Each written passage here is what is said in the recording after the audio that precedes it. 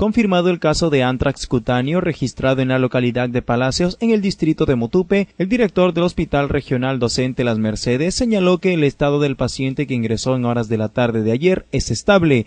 También se está haciendo que vaya, han pedido la interconsulta al epidemiólogo e infectólogo para que eh, vean y traten el proceso. Virgilio Villerna Hernández afirmó que el técnico veterinario infectado con antrax se encuentra en estado de recuperación, recibiendo tratamiento con ciprofloxacino.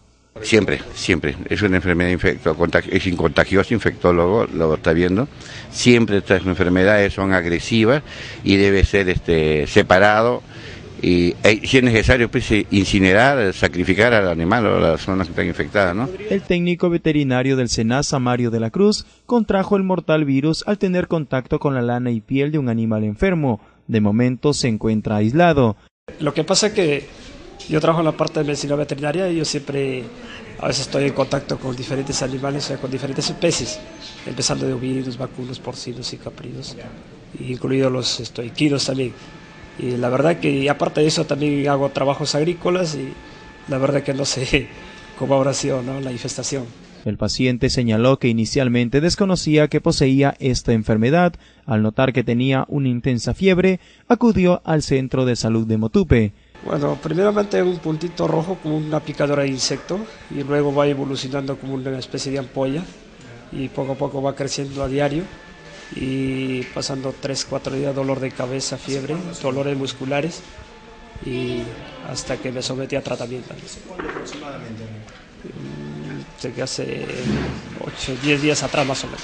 Bueno, empezó como una ampollita en la mano y él me dice, por favor sácame esa ampollita que me entra una espina. Y yo le digo, no es espina.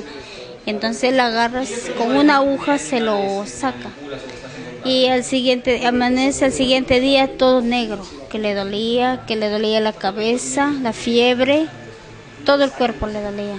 Personal de la Dirección Regional de Salud acudió a la zona para verificar in situ la magnitud de la enfermedad. Se procedió a vacunar a los animales menores. Bueno, yo me asusté, ¿no? Que tenía esa enfermedad, me asusté mucho y ahí el centro de salud como ya no fuimos a ver el resultado y no nos no nos daban el resultado nos hemos tenido que ir a otro particular.